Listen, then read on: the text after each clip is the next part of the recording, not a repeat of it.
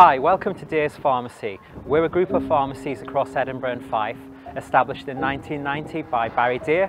My name's Mahyar and I'm the General Manager for Dears Pharmacy.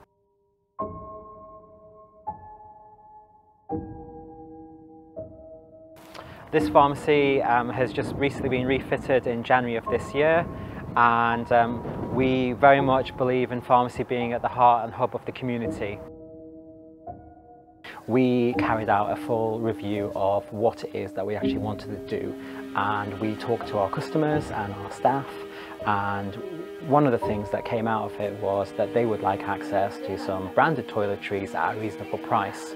So having done some research, we actually looked at developing a one pound range and that gives the customers access to a whole range of different toiletries conveniently priced at one pound which gives them exceptional value for money and to help also give the customers a little bit further back we also introduced a very simplistic loyalty card that allows them to essentially collect a stamp for every time they spend five pounds and once they get to 60 pounds spent on their card they actually get five pounds off their shopping which is a little thank you from us to thank them for their loyalty with Dears Pharmacy.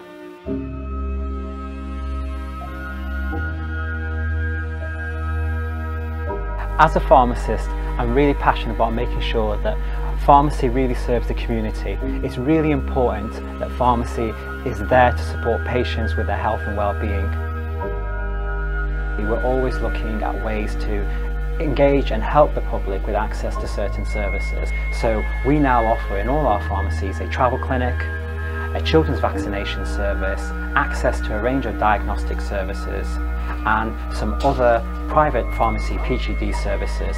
These are all given and available to the public with no appointment necessary.